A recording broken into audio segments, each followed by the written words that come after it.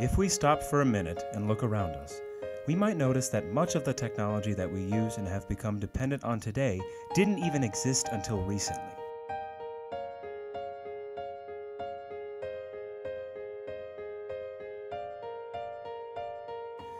The story of humanity is often told about how far we've come. As time passes, our world changes. We do as well.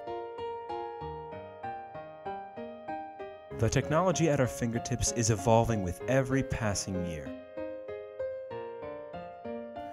We learn and build upon our past successes to create the present and the future. Throughout history, men and women have worked hard to improve the quality of our everyday lives.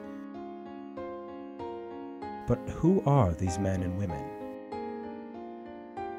Engineers have spent countless hours researching and designing the technology behind the innovations of this decade.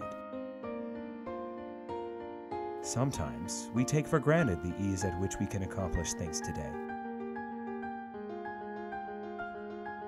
Things that used to be complex have become simple. Tasks that used to be time consuming have become instant.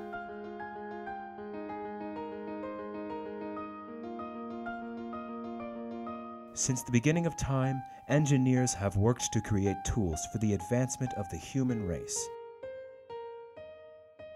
What will be next?